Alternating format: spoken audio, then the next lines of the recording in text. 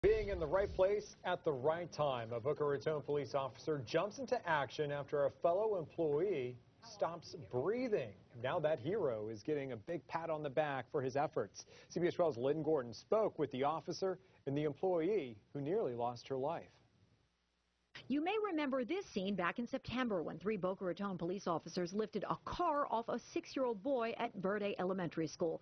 But it's not just citizens Boca police are rescuing these days. Just last month, Officer Tony Rumpf saved the life of a fellow employee. Just seeing the look on her face scared the pants off of me. Rumpf is a 20-year veteran on road patrol who happened to be in the right place at the right time.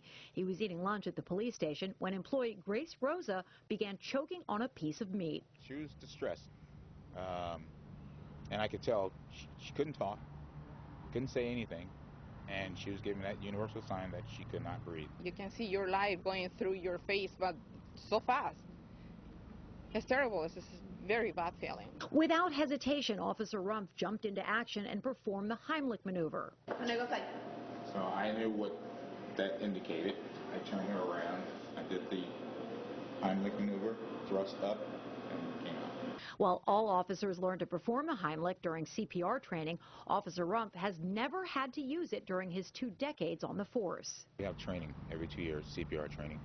Um, it's very important, and it's a good thing that I remember how to do it. Because of his efforts, Officer Rumpf received the department's life-saving award last week, which is rarely given out. Despite all the accolades, Officer Rumpf still doesn't feel like a hero. It's like if you're at your own family reunion or a home with your own family and that happens, you just do what you know what to do. But it's easy to see why Rosa disagrees. You think he's a hero? You feel like he's a Yes, he will be forever. Thank you. Thank you so much. In Boca Raton, Lynn Gordon, CBS 12.